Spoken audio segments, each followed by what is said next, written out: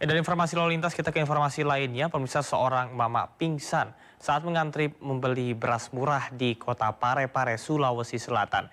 Diduga korban kelelahan karena berdesakan dan mengantri cukup lama bersama ratusan warga lainnya.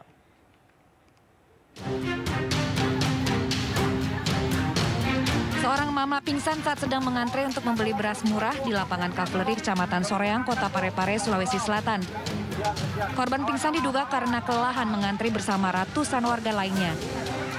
Warga dan petugas langsung mengevakuasi korban dan dilarikan ke puskesmas terdekat. Sejak pagi hari warga telah berdesakan saat mengantre membeli beras murah.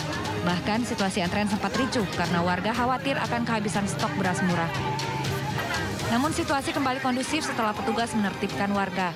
Tadi ibu itu lagi eh, ada berhalangan penyakit kewanitaan, mungkin karena terlalu lama mengantri sehingga ada sembelit ya begitu di perutnya.